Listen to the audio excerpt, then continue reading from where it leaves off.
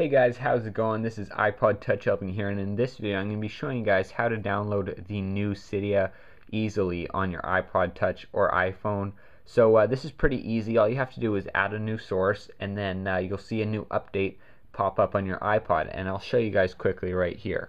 So the source that you guys are going to want to add is right there. It's repo. Hopefully you guys can read that, but the link will also be in the video description below. It's repo.ig33 stas.com.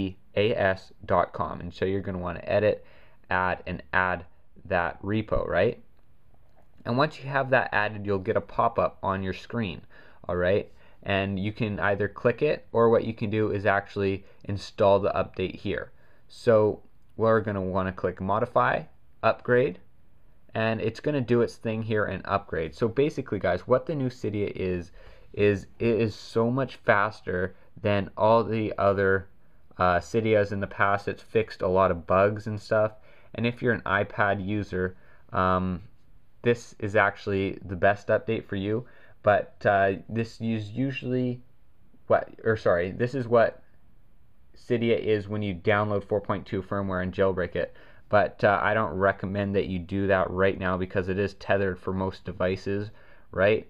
But uh, basically, guys, new Cydia is so much faster. It's a lot better in my opinion as well.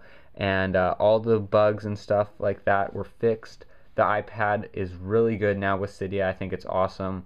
And this is the easiest way to do this. Um, when I first did it, it was a lot harder, but this is much easier, guys. So this is the easiest way to do it. Hopefully you guys did like this video. This was iPod Touch helping. And uh, right over here, when we return to Cydia, it will not be uh, the new Cydia quite yet. You'll just have to reboot your iPod, and then once you reboot your iPod, you should have the new Cydia, and it is really good, guys. This was iPod Touch helping. Hopefully, you guys did like this video, and I'll catch you guys later. Peace.